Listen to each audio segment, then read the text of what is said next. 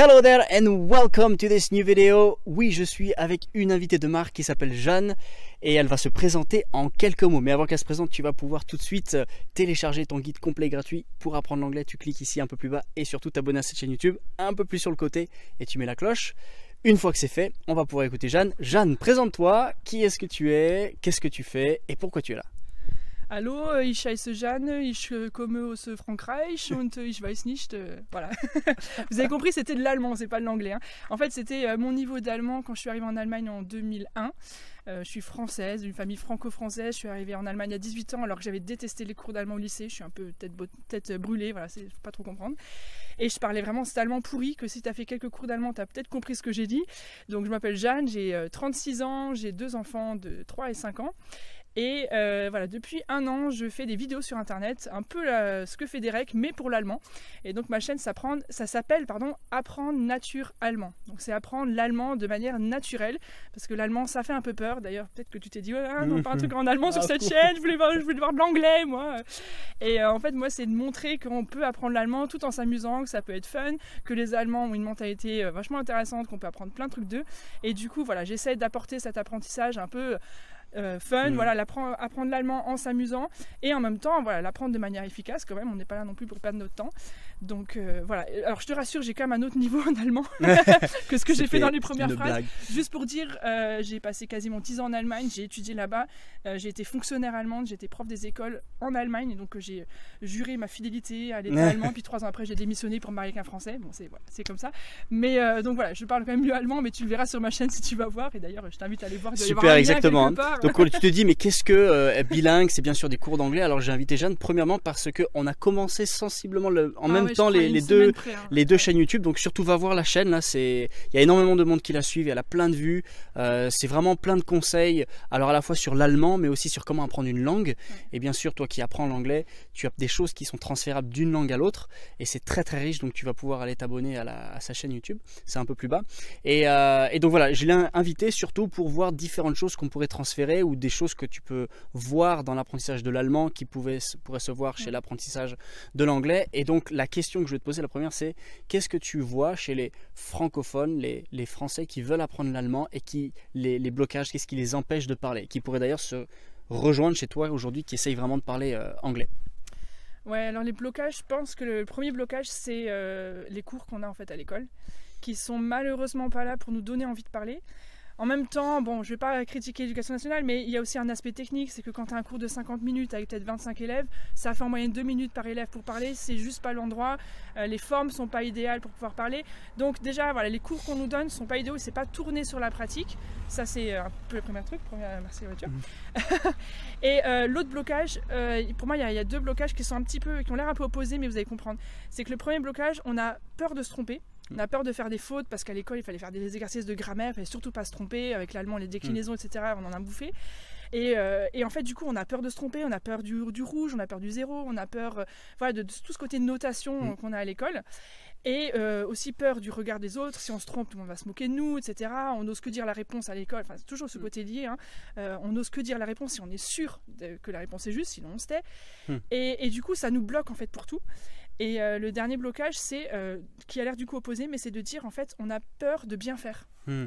Et ça, j'ai vu une différence énorme en Allemagne. Déjà par rapport à ce que je disais avant, la peur de se tromper. Quand j'ai étudié en Allemagne, j'ai eu une expérience, je me suis dit, mais c'est juste ouf. J'étais donc à la faculté en Allemagne. Un grand amphithéâtre, 500 personnes et tout, le prof devant qui pose une question. Tous les Français, on était là, tu baisses la tête. Forcément, tu veux pas rentrer en contact visuel avec le prof, sinon il va t'interroger. On connaît bien, on a tous la technique. Mhm. Et en fait, d'un coup, je regarde autour de moi, tout en gardant la tête baissée, puis je vois tous les Allemands qui étaient en train de lever le doigt, en train de poser des questions, en train d'interagir avec le prof en fac, euh, en grand amphi. Quoi. Je me suis dit, mais en fait, ils n'ont pas peur, eux. Ils se lancent, et puis s'ils n'ont pas la bonne réponse, ils interagissent. Et... Donc ça, c'est top. Et l'autre truc, c'est que nous, on a peur de bien faire. C'est-à-dire que euh, même quand tu parles bien, tu vas le cacher. Et je l'ai vécu quand je suis revenue en France. J'ai recommencé à parler avec mon accent fou- pourri parce que j'avais peur que mes potes français me disent Ouais, c'est bon, arrête de frimer. Ouais, Ah, c'est bon, on a ouais. compris. Ouais, la frimeuse, c'est Faites bon, genre, quand bien. vous apprenez une langue, faites genre, c'est trop bien, ça marche. Et, euh, et en fait, ça c'est trop dommage parce que, encore une fois, j'ai vu autre chose dans la mentalité Mhm. allemande. Je dis pas que les Allemands sont formidables et que c'est génial, mais je pense qu'il y a plein de choses qu'on peut apprendre autant qu'eux ils peuvent en apprendre chez nous. hein. Faut C'est juste sûr, voilà, le côté interculturel. Et du coup, euh, les Allemands, moi j'ai passé un week-end avec deux Allemandes. Enfin, on était tous un groupe, mais il y a deux Allemandes pendant tout le week-end, elles ont parlé anglais entre elles. Et c'était genre, ok quoi. Elles sont en train de parler anglais. anglais. Ok, c'est leur trip. J'ai vu personne qui disait bon les filles arrêtez, on a compris. Et puis c'est un bon anglais, tu vois. Hmm, ouais. Et, et je pense cette Tu, te mets, tu, essayes de quoi. parler anglais pendant un week-end au lieu de français, j'en fais arrête. Ouais, Qu'est-ce que tu fais alors que non, c'est normal. Au bout de 10 minutes, tu te fais Ah ouais, non, quoi. tu fais, bah, c'est bon, t'arrêtes de faire euh, Brad Pitt ou l'américain. Ouais, c'est ça. Et euh, donc, en gros, comment tu débloques tout ça? Qu'est-ce que, comment les gens pourraient peut-être en savoir plus sur l'allemand? Tu vas apprendre l'allemand, tu bo- bosses dans une boîte allemande, tes enfants doivent apprendre l'allemand, tu vas en Allemagne pour tes vacances, tu es en Allemagne alors que tu écoutes, enfin peut-être il y a l'Allemagne partout autour de toi. Euh, comment tu fais? Qu'est-ce que tu, si t'as deux, trois petits conseils?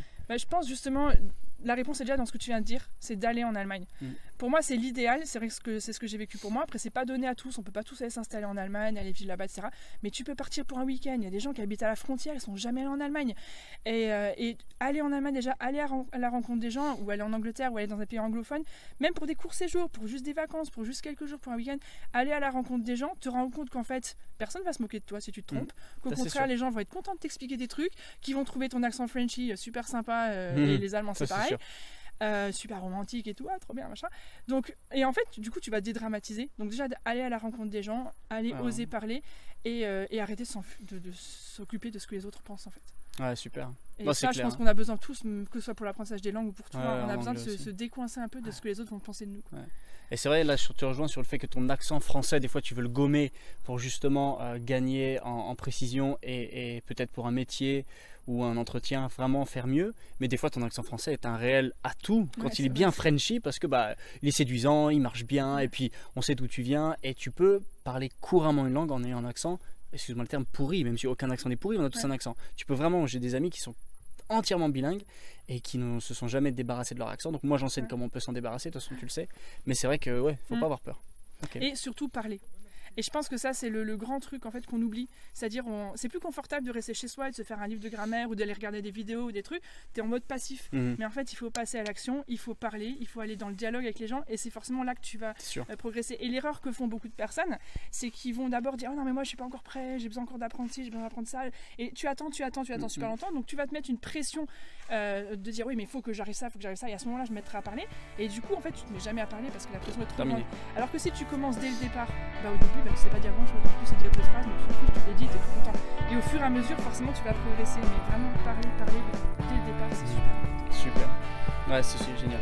Et ben merci beaucoup. Avec. Euh, vous pouvez donc la retrouver sur Facebook, Instagram, YouTube. YouTube. Et j'ai un blog aussi, blog. apprendre naturellement.com, c'est écrit ensemble. Donc retrouvez toutes les informations plus bas et euh, mettez bien plein de commentaires sur ces vidéos. Et abonnez-vous. C'est. Tout de suite. Alright. uh, well, thank you very much. Uh, thank you schön. Yeah. Dankeschön, bitteschön. Oh, sehr gut, genau. Et Euh, en plus, danke, thank you, ça ressemble Ah, ça se vachement. Il y a plein de trucs qu'on peut apprendre. Ça aide à savoir parler anglais et inversement. Oui, c'est vrai. D'ailleurs, le- les, les- les ponts se font plus rapidement, hein, c'est sûr. Et bah, have a lovely day, have a great evening or a great morning. Schönen Abend euch, bis bald. Tschüss. Bye bye.